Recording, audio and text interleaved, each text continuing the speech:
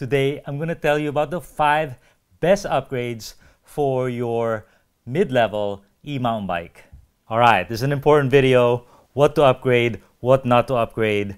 I'm going to give you the five best ones in order of priority. And, and I polled our users uh, on one of our groups on which ones are important. And mid-level, I'm going to define as $5,000 to $7,500. A lot of money. That's still mid-grade, but that's a sign of the times. I'm sorry. so, and what I want you to do when you buy your bike is at least ride it at least five to 10 times. Don't be changing stuff right away that you've never tried and you know, you're not sure of your likes, dislikes, preferences yet. You know, allow yourself to get used to the bike. Yeah, that way you know what, you'll know what to upgrade first and you'll appreciate them as you change them. This list is going to be tailored for e-mountain bikes. I think we have specific needs uh, that are unique uh, to the sport and the way we ride them. And in the end, I'm going to tell you what not to upgrade. Don't waste your money on this stuff I'm going to tell you in the end. All right, the first one is kind of a slam dunk, but there is a little caveat I'll tell you about uh, in the end. And it is tires and tire systems. So e-bikes, you really have the opportunity to maximize your grip maximum grip equals more fun, more safe. So that's really good. And then you can maximize your casing as well. So you don't pinch flat as much and uh, you know get that dreaded flat tire out there. And you're not as worried about weight and rolling resistance. You know, I have Assegais on my on my normal bike, my enduro bike, and man, when I have to pedal 2,000 feet on it, it I, I really think I'm doing the work of 3,000 feet. So you know, it's a big compromise on those bikes. And uh, but on e-bikes, hey, I use one or two more bars on the battery. I don't use it all anyway. And so the caveat is it depends what your bike came with. In the old days, they didn't come with good stuff, but now four of the latest e-bikes that I got had Assegai front and DHR rear or dissector rear. So you don't have to upgrade those. Those are pretty good. Uh, also, the Specialized and the Treks, they now have really good house brand tires uh, if you got them in 2022. Before that, not so good. So some of the upgrades, so the new specialized tires are good. T7, T9 compound. Uh, if you love those, just go with the new ones. Better design and better rubber. WTB uh, really upped their game. They have uh, the, the Judge and the Verdict, both in 2.5, 29er. Really good casing, huge knobs, uh, and good size now as well. And, and, and kind of affordable. And finally, just what I have in, in, in house is uh, the whole new line of Continental really gets my stamp of approval. Subscribe to the channel, by the way, because I'm going to be reviewing uh, all the Conti tires uh, in detail. So this one's called the Kryptotal, uh, and it's got really good construction, good rubber, you know, good tacky rubber, and protection.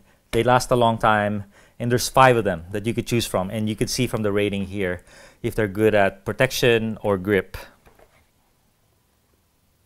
And finally, upgrade on still we're still on number one. Upgrade to tubeless if it's not already tubeless.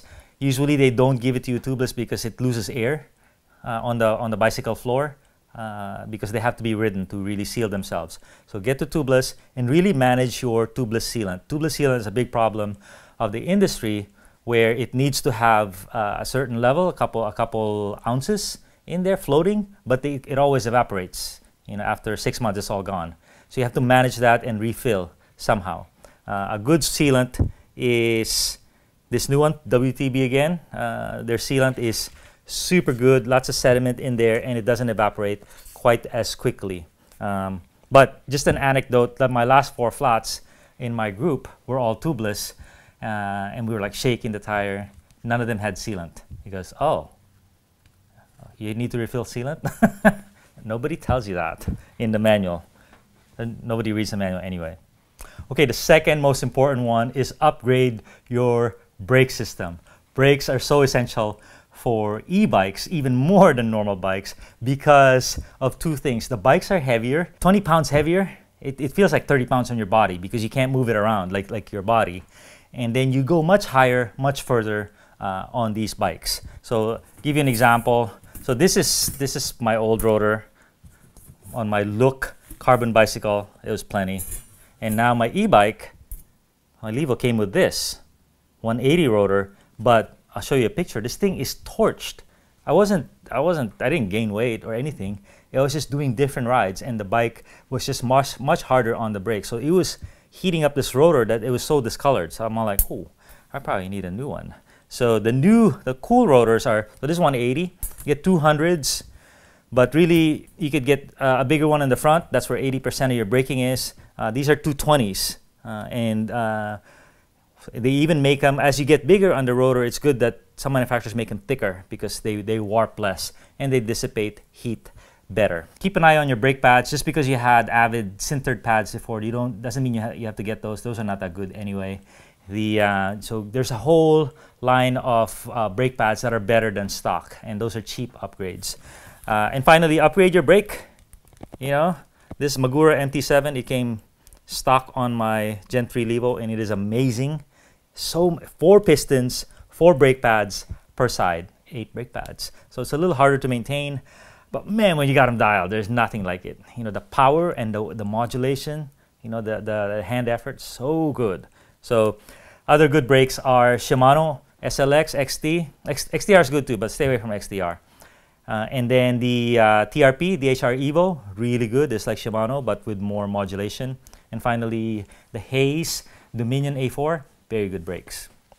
All right, number three upgrade is the shocks, shocks and forks.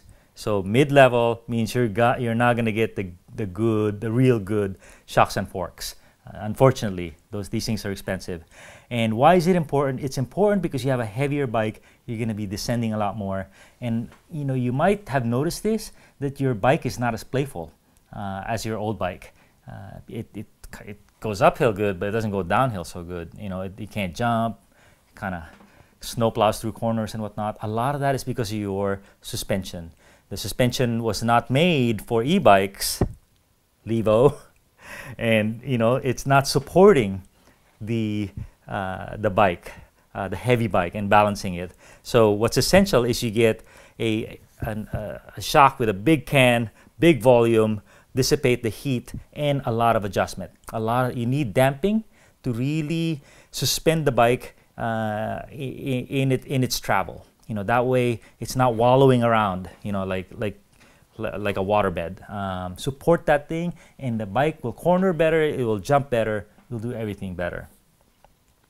You can get a coil shock as well and make sure the spring is matched to your body weight and make sure the bike is ready for a coil spring. Uh, there's a lot of stress too on the on the shaft of the of, of a coil spring.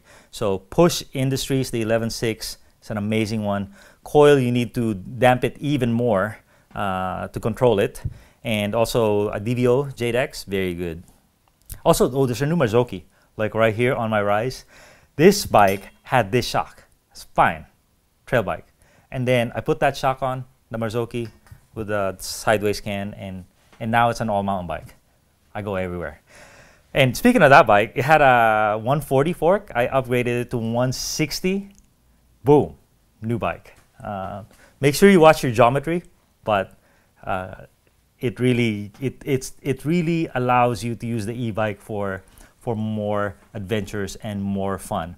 So the key with uh, the fork when you upgrade your fork is I like the Grip 2 damper uh, because now you have four knobs of damping. Uh, and you want to dial in your damping, be a student of adjustability, of adjusting and air pressures because it'll pay off dividends for you. Uh, tire pressures too. Okay, number four upgrade. This was a little unexpected, uh, but suggested by some of our group members is upgrade your dropper post. Okay, mid-level means you might get a house brand post, not good, uh, but really for sure, unless you're standard size, the, the post is not going to be optimized for your body. What does that mean? You want the maximum post that's that you can have for your leg length uh, that you could still, you know, sit sit properly, get uh, good extension, and drop that you get the most drop. So usually bikes come with 125 or 150. Uh, for me, uh, I can do a 170 or 180 depending on the bike and the post. So man, change changes the game because you improve bike body separation and you can pump terrain better. The bike's out of the way when you need it. So very cool, and also the quality is important. You want light action on the lever, and you want you want to actuate it uh, with with a little pressure. You don't have just jump on it with your weight. Uh, that would be that would be pretty cool. Uh, and you know, bike yoke, even at an angle, it'll go down pretty good. So bike yoke, the new Fox is pretty good. Uh, One Up components and PNW uh, are are quite good in the dropper post department. All right, number five, I'll throw you kind of a uh, a monkey wrench here is upgrade the the rider protection. Okay, the pedals and the rider protection. Okay, uh, very important. So on the on the pedals, I would say consider flat pedals. You know, even if you've been 20 years on clip clipped in pedals, uh, and and kind of if you're pedal curious, this might be the time to give that to give that flat pedal platform a try. I was 20 years clipped, and now I'm like five years flat, but I can do both now. And my riding has improved so much, and it saved me from many many crashes um, because I just stick my foot out. So you could try technical stuff better because you could you could you could put your foot out in a millisecond. Uh, and also you learn how to ride a bike by using physics and not by using locks. Clip, clips are locks. You're locked to the bike. Um, but with physics, like a skateboarder, uh, surfer, you can do a lot of things if you're doing it right. And man, it's uh, takes time, but it's worth it. I think it's a lot safer as well. And then on the on the protection as well, get some knee pads, get some shoes that have some real armor, because you got you have to spin these uh, these pedals sometimes in, under a root or a rock, and oh man, you're gonna break your toes. So get some protection there. Knee pads. There's no consequence now to wearing knee pads all the time. Uh, even a full face helmet, if that makes you feel better, if that protects you, because now they have 600 gram helmets. If you get too hot, just give it, give yourself a little more assist. Make your own wind, uh, make your own ventilation, and it'll give you a, uh, a much safer experience without really a lot of compromise. So I think that's five. I'll give you a couple wildcards. The first one is what not to upgrade. Uh, don't upgrade what you used to do on normal bikes. Lightweight stuff. Carbon, carbon rail, carbon this, carbon that. They don't do anything. Carbon frame, they don't do anything. Okay? Stay away from the lightweight stuff. You'll save, you'll spend two grand and you'll save two pounds and it's done you nothing you know, uh, and you, it's more likely to break, but they usually don't perform as well. You know, just like just like this scenario, this is uh, XX1, and this is GX. This is the expensive stuff. This is about 80 grams more than this, but way cheaper, and it lasts longer. It's more solid. The the shifts are more solid, and it lasts longer because it's it's it's steel. It's not aluminum. Consequently, because it's cheaper, you can replace it in a more timely manner. You know, when you got to spend 500 on this, kind of hurts. You kind of delay it, stretch stretch everything out. So uh, don't get the lightweight stuff. Don't get the the high end drivetrain XX1 XTR. Don't do that. You know that's no good. When you drop your bike weight from 51 to 49 pounds, it does nothing.